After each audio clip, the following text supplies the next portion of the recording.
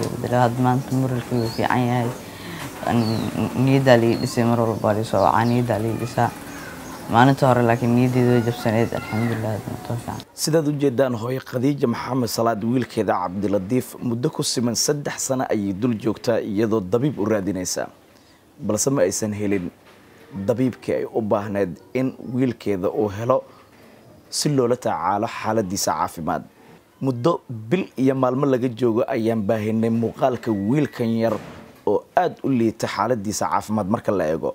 Falcelin badan ayaa ka dhalatay oo ay sameeyeen dadka soomaaliyeed balse ilaa iyo iminka ma aysan kaamil noqonin lacagtii lagu dabiibi lahaa cabdilatiif oo ah dhibanaha dhulyaalka u noqday cudurka ka asiibay beerka ee daawadiisa dibadda mooye dalka gudihiisa lagala quustay ayaa waxaa iminka heer wanaagsan maraya tabarucaadda lagu garab istaagay ee guusha u saldhigaysa caafimaadkiisa oo ay gardaadinayaan shacabka soomaaliyeed tan iyo markii ay baahisay shabakadda warbaahinta shabeelle xaaladda xanuunka badan ee wiilkan haysata ayaa waxaa isu soo tarayay gurmadka shacabka soomaaliyeed ay ku garab istaagayaan wiilkan yar iyo qoyskiisa kuwaasi oo aan awood u lahayn in dalka dibaddiisa wiilkan ay u qaadaan si caafimaadkiisa loogu soo dabiibo. Hooyada dhashay cabdilatiif khadiija maxamed salaad ayaa ka warbixisay heerka iminka rajadooda ay marayso iyo gurmadka ballaaran oo ay ku garab istaageen shacabka soomaaliyeed. Ilaahay baa horta mahad iskale idaacadda shabeellaha ku mahadsan. Muddo bil ka hor moraalkeenna aada ayuu u xumaa. Ilaahay baa noo gargaaray idaacadda shabeellaha noo timid oo barbaahintii u gudbisay ummadda soomaaliyeed u bandhigtay markaa dhibka nahayo alxamdulilaah rabbialcaalamiin ummaddii wax baxsatay ilaa maraykan ilaa ingiriis ilaa kanada ilaa biljinka meel aan la igala soo hadlin male.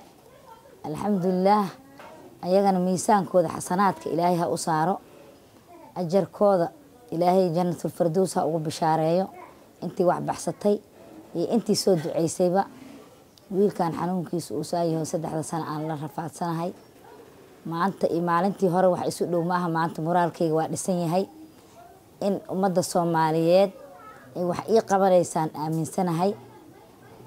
Lacag shan iyo toban kun yaan maanta gacanta ku hayaa. Boqol iyo konton kun oo doolarna waa la iyiri xanuunkii iyo beerkii iyo wixii. Marka alxamdulilaah ilaahay baa mahad iskale dhinaca kale cabdilatiif oo maanta rajadiisa caafimaadka ay ka wanaagsan tahay maalmihii aanu ka soo gudubnay ayaa uga mahad celiyey shacabka soomaaliyeed sida garab istaaga ay ugu muujiyeen maanta muralkaygu fiican yahay. Niyaddaa lii dhisay mar walba lisoo wacaa niyaddaa lii dhisaa. Maalinta hore laakiin niyaddeeda way jabsaneyd alxamdulilah waxaan ka codsanayaa ummadda soomaaliyeed meel walba joogaan inay garab istaagaan. Heel iyo hoob inay garab istaagaan aan ka codsanaya waxay dhiman inay ii dhamaystiraan insha allah. Wax badan hadda iga dhiman. Oo caafimaadkayga ku jiro rajada hadda way in oo kulli iisoo dhamaystiraan aan rajeynaya insha allah.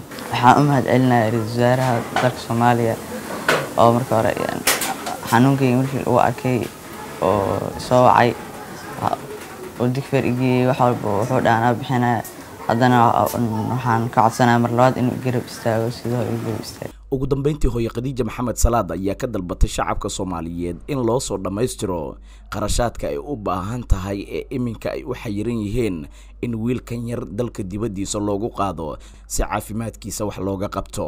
Ummadda soomaaliyeed way i garab istaagtay in badan way i garab istaagtay. Ajar iyo xasanaad allaha ka siiyo. Haddana inta ii dhiman inay ii dhammaystirayaan yaan rajaysanahay sida hadda aniga aan caqligayga ah oo ilaahay ka rajaynayo inay ii dhammaystirayaan wixii ii dhiman yaan hadda aaminsanahay. Intaasba intay raaday shabeelle xanuunkeena u bandhigtay yaan intaa ka helnay. Inta ka dhimanna ilaahay waxaan ka rajaynaynaa ummadda soomaaliyeed meel walbay joogto. Inayna garab istaagayso ay macnaha intaana noo dhammaystiraysaan aaminsanahay. Xasan kaafi xaaji maxamed shabelle t v muqdisho. Si aad ugu adeegato premier wallet keliya taabo batanka bay ku aadi kaamirada q r-ka goobta aad wax ka iibsanayso geli lacagta iyo faahfaahin kooban. Taabo next kadibna confirm. Ugu dambayntiina geli mbiinkaaga si aad u dhammayso iibsashada. Premier wallet waa habka ugu casrisan ee aad ku adeegan karto maalin kasta